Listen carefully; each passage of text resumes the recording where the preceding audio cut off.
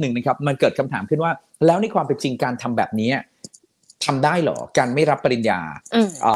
ถ้าคนไม่รับปริญญาแล้วเราไม่รับเข้างาน ถ้านั่นเป็นหนึ่งใน requirement หรือเป็นหนึ่งในเงื่อนไขของคุณ จริง ๆ แล้วย้อนกลับไปดูกันอย่างจริงจังเลยคือ รัฐธรรมนูญเลยนะ บอกไว้ว่ามีหลักการห้ามเลือกปฏิบัติอยู่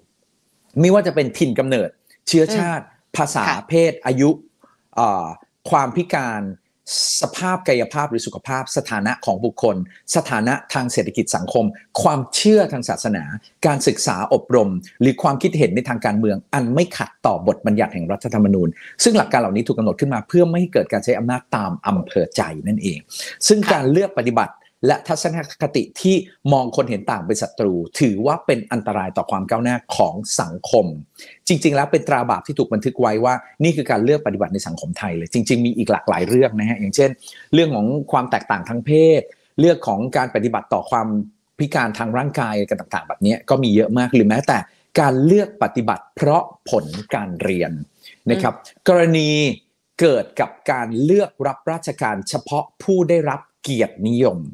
ค่ะอันอันนี้เป็นกรณีที่เคยเข้าสู่กระบวนการพิจารณาไปแล้ว เป็นเคสตัดดี้ได้แล้ว ถือว่าเป็นตัวเทียบเคียงได้เลยนะครับ มีคำพิพากษาของศาลปกครองสูงสุดที่เกิดขึ้น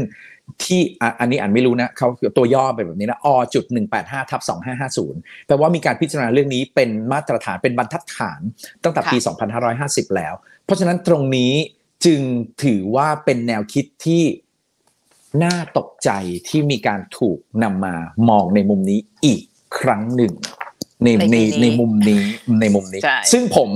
ผมก็รู้สึกเหมือนกับที่ผมพูดไปทั้งหมดนี่แหละ